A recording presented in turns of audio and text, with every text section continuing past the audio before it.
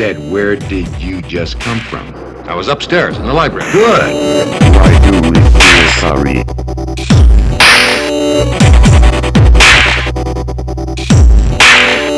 Why is honesty?